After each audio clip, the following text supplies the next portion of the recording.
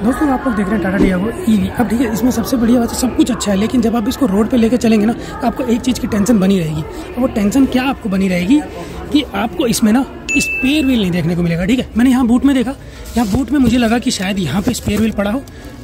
एक सेकेंड में आपको ये सामान हटा के दिखाता हूँ, ठीक है? देखो, आपको सब कुछ मिल रहा है, लेकिन यहाँ पर ना बूट में देखो, आपको बिल्कुल ना स्पेयर व्हील नहीं मिलेगा। यहाँ स्पेयर व्हील नहीं है तो हमने सोचा भाई क्या पता नीचे दिया हो और मैं नीचे झुक के देख लिया। यहाँ भी नीचे भी कोई स्पेयर व्हील की प्लेसमेंट आपको नहीं दी हुई है। तो कुल मिला के मतलब अगर आप रोड पे चल, थोड़ी सी टेंशन बनी रहेगी। कहीं ना कहीं कोई ना कोई जुगाड़ कर देना चाहिए था स्पेयर व्हील का। लेकिन चलिए, ठीक है, क्या कर सकते हैं?